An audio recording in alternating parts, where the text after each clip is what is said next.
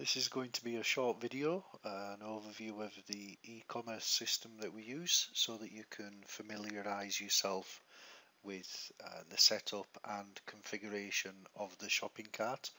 Although that will probably already have been configured for you um, at least this way you will know what to do and where to go to to change some of the settings.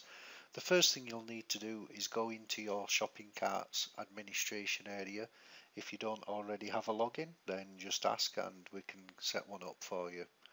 And you just go in and log in and then go to components, eShop and you'll see we have uh, the dashboard for the shop.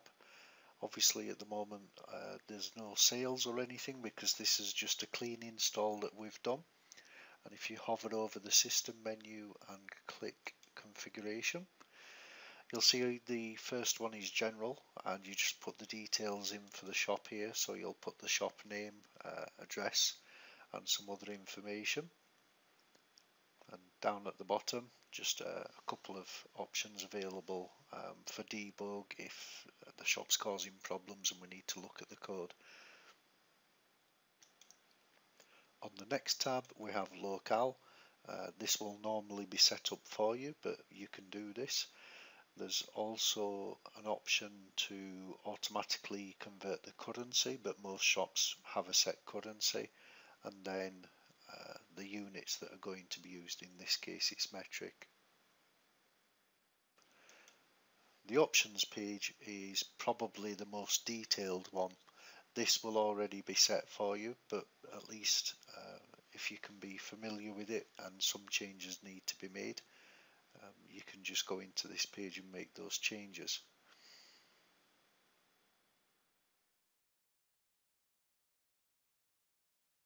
I think the most uh, important one is the products uh, configuration.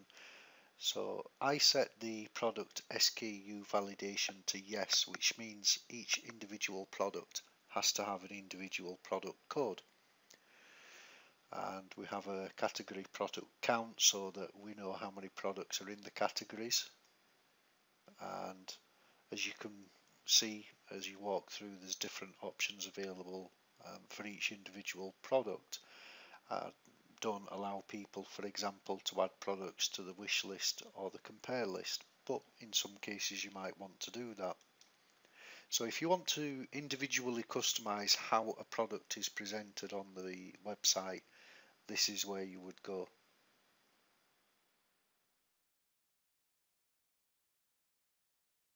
Uh, typically we don't configure taxes but they can be configured for you.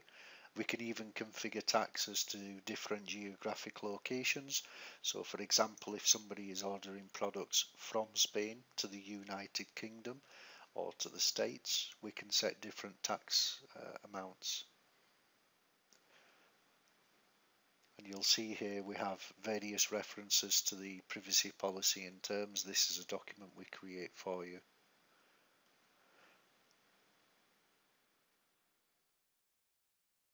As a suggestion, um, familiarize yourself with this page, but don't make any changes unless you think they are necessary because we will already have configured this for you. The image page is just a setup of the individual images. So how the image looks when it's a thumbnail, when it's in a category, when somebody clicks on it, um, if it's in a gallery, etc. And there's also the opportunity to brand the images as well with your own logo at the bottom. One little tip about this, if you do watermark images and set the option to recreate the watermark images, don't have this on permanently because it will slow the website down significantly. It should only need to be run once when the watermark changes. The layout is just really the overview of the layout, how you want to present it. In most cases the default layout that we use is perfectly fine um, for most shops. We display in grid rather than list because it presents more products on the page. The invoice setting is just there to make sure that each customer gets an invoice when an invoice is produced. and all the other settings we really don't touch. That's pretty much it for the uh, configuration overview but you'll see there are other options here like countries, currencies which I'll go into. Uh, we have the euro set as the default. We don't actually use uh, pound sterling or dollar so I'm going to unpublish those and you'll see that euro is set as the default as well. We also don't use stock statuses, we just set all the products to I think 9,999 items so that uh, they will never run out of stock but of course if you want to run uh, an inventory system you can do as well.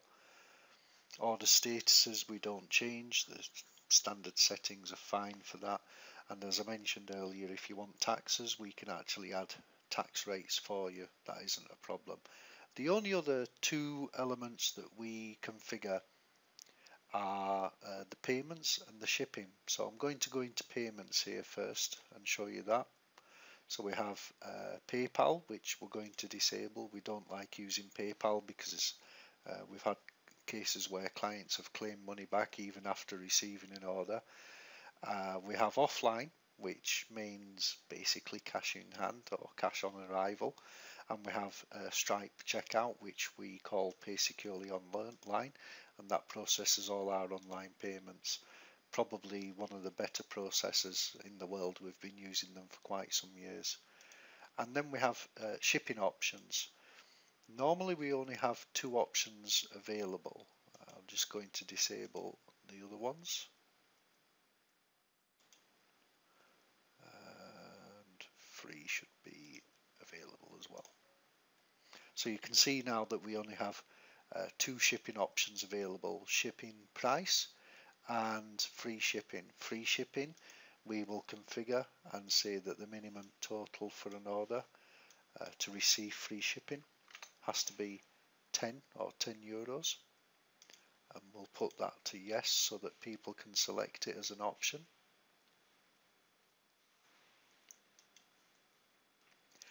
and price so the package fee is going to be 20. Mm, we're going to set that to 10. So it's 10 euros to use this. So if somebody's making a purchase on the shop and they purchase more than 10 euros worth of goods, they will automatically be able to select um, free shipping. If it's under 10 euros, then they will be charged. And that's pretty much it for the configuration. Um, next we're going to go into categories and products and how to add those.